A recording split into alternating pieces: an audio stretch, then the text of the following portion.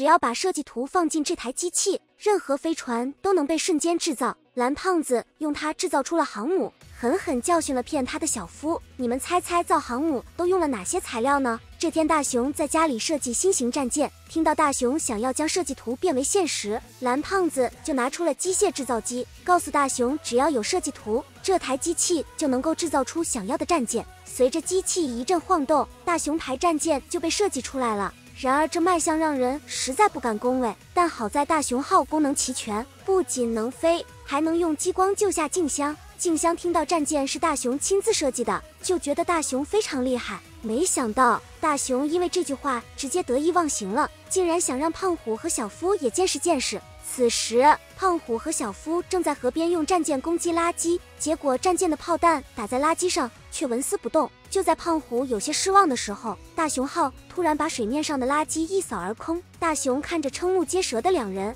非常自豪地说：“这是自己设计的。”接着又表演了几次清理垃圾，让胖虎和小夫赞不绝口。蓝胖子表示这种战舰很好制造，只要把设计图丢到机械制造机里就行了。小夫听到还有这种机器，直接许下一百个铜锣烧的诺言。大雄以为蓝胖子不会轻易妥协，没想到蓝胖子面对铜锣烧连挣扎的勇气都没有，二话不说就把机器给了小夫。小夫拿到机械制造机后，就打算设计更加气派的战舰。为此，他们还查查阅了很多资料。甚至就连材料都用得非常高级。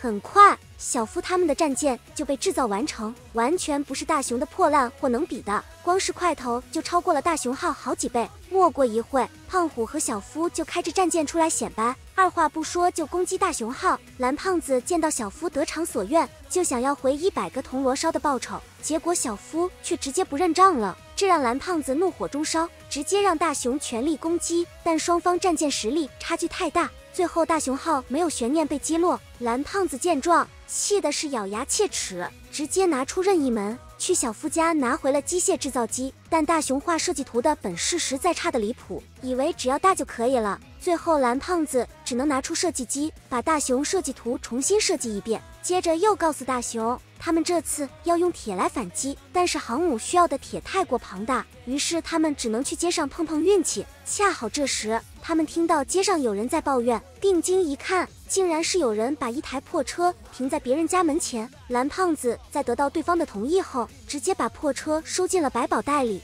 这样一来，制造航母的材料就收集齐了。回到家后，蓝胖子拿出分解菜刀，轻松将车子全部分解。没过多久，一辆巨大的航母就出现在大雄眼前。另一边，胖虎和小夫正在用战舰欺负小孩，但很快。巨大的阴影就出现在他们头上。等他们抬起头来，发现大雄和蓝胖子正在乐呵呵看着他们。小夫咽不下这口气，直接用战舰朝着航母攻击。然而战舰的攻击对航母毫无效果。胖虎见状不对，拉着小夫马上逃跑，甚至还让战舰躲了起来。大雄本来打算到此为止，却没想蓝胖子并不愿意放过他们，直接用航母将他们撞得七零八落。大雄他们出完气后，刚回到家。就有人来讨要那部破车，但是大雄他们早就将那部破车给拆了。为了补偿那位路人，他们就将航母送了出去，真的太大方了。欢迎大家留言关注哦，我们下期见。